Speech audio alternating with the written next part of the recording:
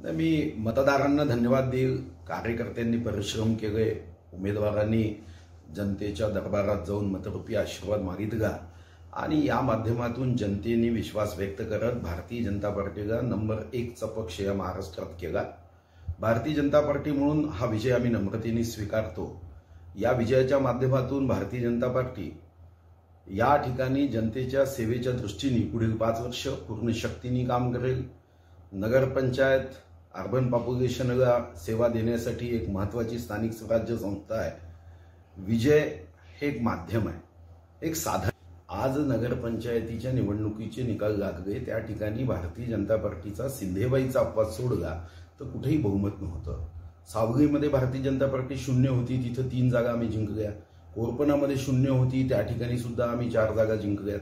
तर साधारणतः भारतीय जनता पार्टीचं अस्तित्व जिथं शून्य होतं तिथंही या निवडणुकीमध्ये भारतीय जनता पार्टी जनतेने काही अंशी निवडणुकीमध्ये विजय प्राप्त करून दिला आहे.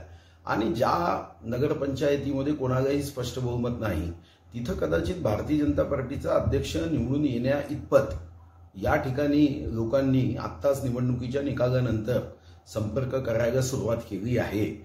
मला असं वाटतं की भारतीय जनता पार्टीची नगरपंचायत होती आणि ती नगरपंचायत भारतीय जनता पार्टीने गमावली.